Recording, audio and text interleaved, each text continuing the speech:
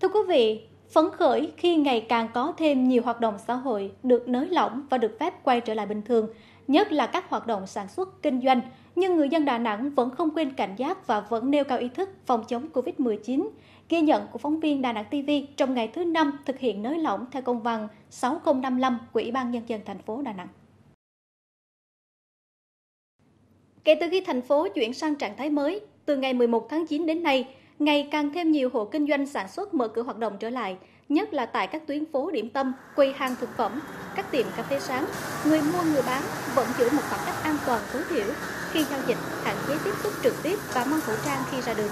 Người dân cho biết rất vui khi được quay trở lại ăn uống bình thường, nhưng sẽ không chủ quan lơ là trong phòng chống dịch. Mở ờ, ngồi lại vào quán cà phê thì thấy tâm lý nó thoải mái hơn, phấn chấn hơn thì ờ,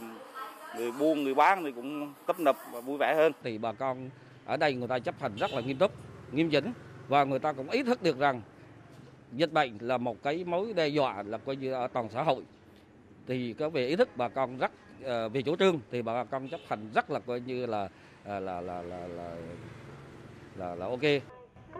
Bên cạnh việc cho phép các hàng quán ăn uống được mở cửa phục vụ khách tại chỗ, trong công văn mới, Ủy ban Nhân dân thành phố Đà Nẵng vẫn yêu cầu người dân hạn chế ra khỏi nhà nếu không cần thiết và hạn chế tập trung trên 30 người tại các nơi công cộng, ngoài công sở, trường học, đồng thời tuân thủ chặt chẽ các biện pháp phòng chống COVID-19.